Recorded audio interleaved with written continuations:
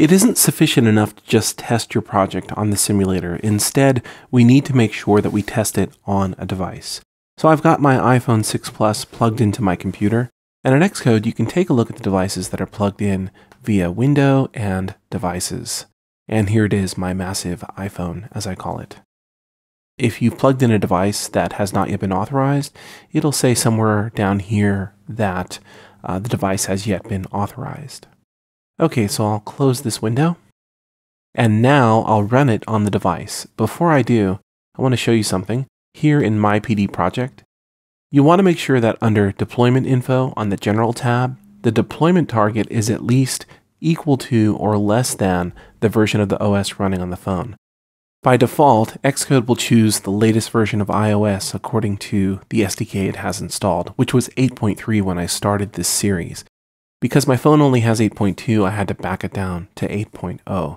In the case that you have a device connected to your computer and the deployment target is greater than the OS, then when you click on this portion up here, it'll say um, ineligible devices. And so what you have to do is back down the deployment target, save your project, quit Xcode, plug in your device, run Xcode again, and eventually it'll show up here um, as an eligible device.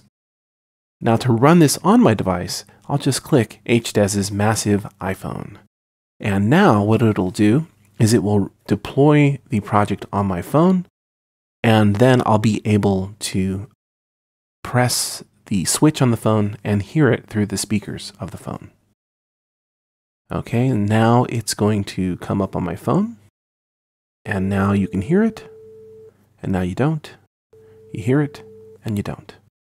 If I were to let it play and then hit the home button, it would shut off. And then if I go back into the app, it would start playing again. And that has to do with that resigning active and becoming active that we set in appdelegate.h. And that's all there is to it, folks. That is getting started with LibPD for iOS. I hope this gets you started with your own LibPD projects. I'm Dr. Rafael Hernandez. Thanks for watching this series. Don't forget to like this video and subscribe to the channel. Take care.